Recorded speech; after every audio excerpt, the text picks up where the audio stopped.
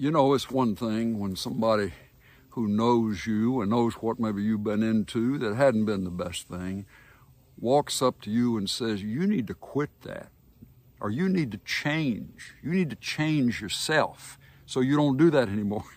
It's one thing when somebody comes up to us fussing at us that we need to quit something, and then when somebody else comes up and says, There's a power available to you as a follower of the Lord Jesus Christ that will do the change in you.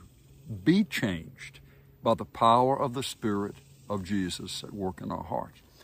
The Apostle Paul says in Romans 12, don't, don't be conformed to this world, to the image of this world. But then he makes this statement, you be transformed by the renewing of your mind so that you may prove what the will of God is, that which is good and acceptable and perfect.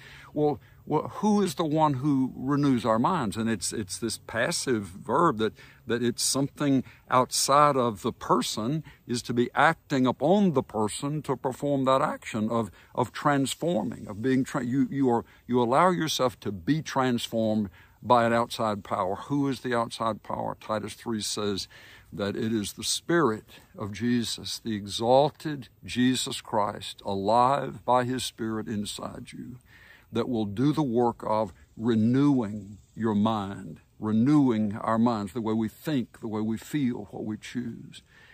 So there's all the difference in the world. Jesus is, is our Savior. He, he, he died for our sins to be forgiven. We put our trust in Him as Savior. But I don't know how many of us are putting our trust in Him to do the rest of what the gospel contains and speaks of. Jesus is our changer. He's the one who will change us. He works by His Spirit to change our want to.